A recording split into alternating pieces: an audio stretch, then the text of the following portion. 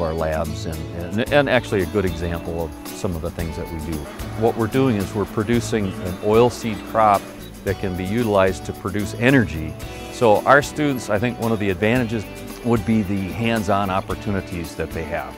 The students will receive instruction, research-based instruction in the classroom, so there's some theory, but then we apply it on farm. The industry connections are fantastic, and I think that's what gives our students the competitive edge. Uh, but we'll weigh the seed from each drop tube. I grew up on a farm and I knew I wanted to work in the agriculture industry.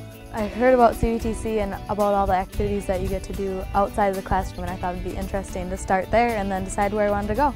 There's a lot of competitiveness in the agriculture industry today and the more education you have, the better. So I think that I want more education, you know, you can never stop learning.